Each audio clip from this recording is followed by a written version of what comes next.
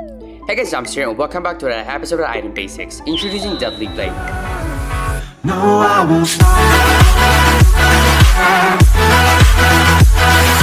Deadly Blade is one of the deadliest counter items in the game, built for physical type heroes. It provides physical attack, attack speed, and awesome life drain passive ability. Life drain basic attack reduces health regen by 50%. It is indicated by a broken heart logo. Take note that reduction must not exceed 50%. Inflicting the same effect won't stack up. Bouncing attack and piercing attacks does not trigger life drain. However, enhanced basic attacks such as Clint's passive, Ali's first skill, Mia's first skill, and Irithel's ultimate can trigger life drain. It doesn't work with Bomb and Cyclone Sweep. Since life drain reduces health points received from full HP regen, it is good against healing heroes including Estes, Rafaela, Minotaur, Uranus, and Kadita. Its passive works with passive heals, spell heals, received heals, ability heals, talent heal, lifesteal heal, spell vamp, and base heal.